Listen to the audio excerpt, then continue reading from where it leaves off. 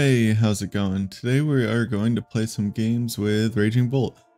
Raging Bolt got like 6th place at the World Championships and just generally did pretty good. A lot of people made day 2 with it and the aggressive decks are in a pretty good spot right now. They are decent into Regidrago and yeah, just all around fun to play I think.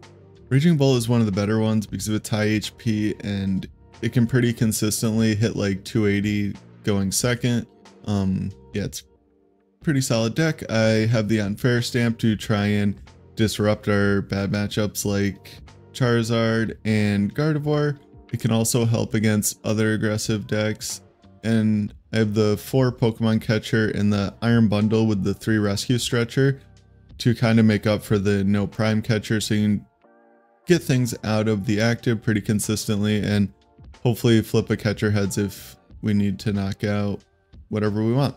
Um, since there are three stretcher, I also only have three bolt and three Ogerpon. Would really like a fourth Ogerpon. I haven't had a problem with only the three bolt so far, but a heavy ball wouldn't be the worst thing in the world either. Maybe the ultra ball could just become heavy ball, but I do kind of like having the ultra ball. And realistically in best two of three, you can finish three games pretty easily with Raging Bolt and the odds of prizing two Raging Bolt or two Ogerpon two games in a row is relatively low. So yeah, I also made a more in-depth video on how to play Raging Bolt, so check that out. And uh, yeah, let's get into the games. All right, so game one, pretty sure I won the coin flip here and chose to go second. We're up against a Manaphy, so it could really be anything, but it does end up being Gardevoir, which isn't the best matchup in the world. Like Guardy can win pretty easily in only three turns. It isn't the easiest matchup for them either though. The 240 HP on Raging Bolt can be pretty awkward. So that can stop them from just taking three prizes or three knockouts super easily. Like normally they have to target down a uh, an Ogerpon at some point or something like that. I have kind of an awkward starting hand here. I'm really relying on my teal dance to get me into like a Raging Bolt or nest ball or something. It does get me into trekking shoes, which is good.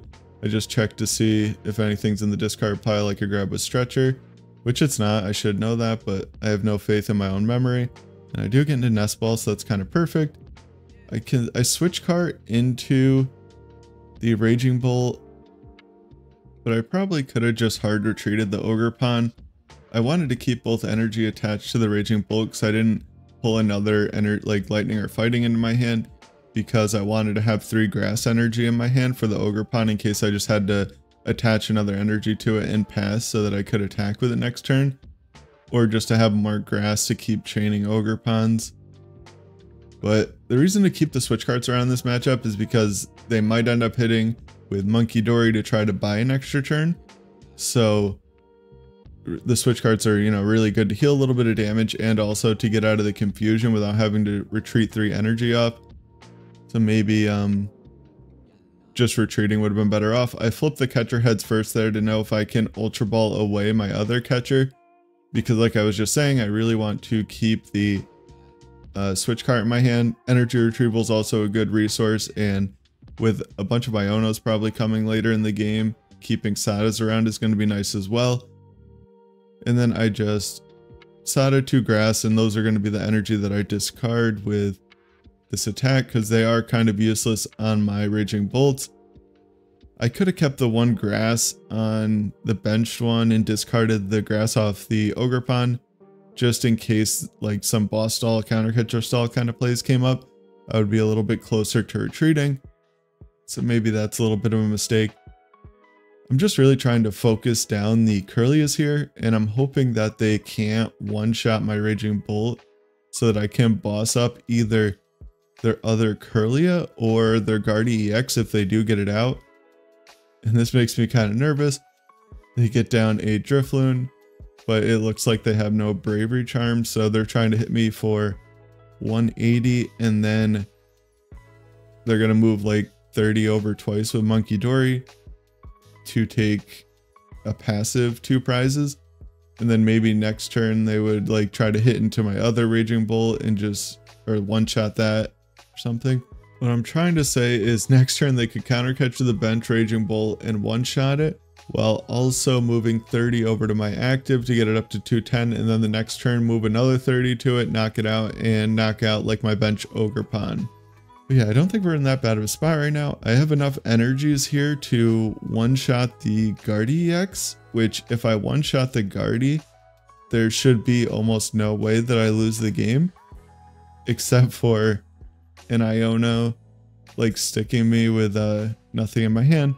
But getting into a Palpad here would be pretty great. I don't know, I'm just thinking here if I, because I do have to get rid of all my energy one-shot the Guard EX, which is kind of sketchy. And I'm not really too crazy about that. I just attached the grass. I don't know, that's kind of debatable if that was correct because the grass energy can draw with Ogerpon. But my thought kind of was I want to have the other type of energy for Raging Bolt index so that when I saw the next turn, I'll easily be able to get to that type of energy. I don't bench the Raging Bolt. I probably could have just benched it because I already have one on the bench with no energy on it, so that's as much of a liability as the other one. But a little bit further down the road, it could become more of a liability. When I have like these two built up or something like that, I don't know. Probably could have just benched it because they're going to knock this Raging Bolt out. They'd really probably prefer to hit into my other Raging Bolt, I would guess. They're in kind of a weird spot. Now they only have one Kirlia down, so my goal is just to flip this catcher heads here and uh, knock out their last Kirlia, and then I basically can't lose. I was already in almost an unlosable spot by knocking out the EX that turn, because it's going to take them more than two turns to win the game, and I just need to take two single knockouts, and with how many energy I should be able to get on the board, I shouldn't be able to whiff the knockout here or with like knocking out anything in the active. I mean, that would like if they bring a guard EX into the active next turn when I'm at one prize, I should still be able to knock that out pretty easily.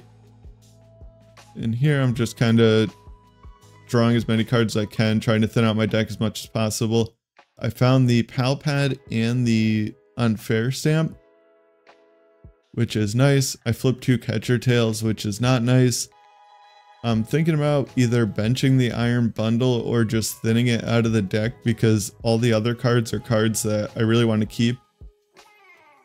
I like I want to keep one vessel around to grab these energies out of the deck and I get kind of lucky here with drawing into this pal pad on the other side of the unfair stamp, which I have pretty decent odds to, but this makes it so that I have much better odds of drawing a Sada off of any Iono because like two or three of the cards in my deck are Sada and I only have 10 cards.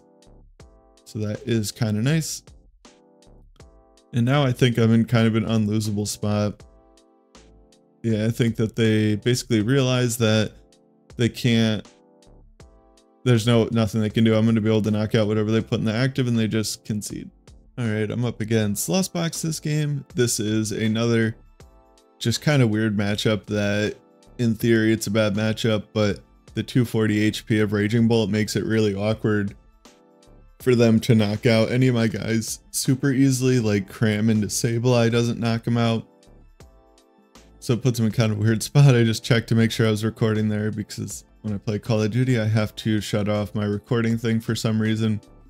And then I'll play games and it's usually always a good game that I play one of my things off and then I go to capture it and I can't get it. So that always sucks.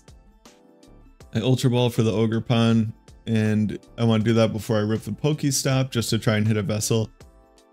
And I Vessel away the boss. I really shouldn't have done that because I shouldn't put Squawkabilly in play.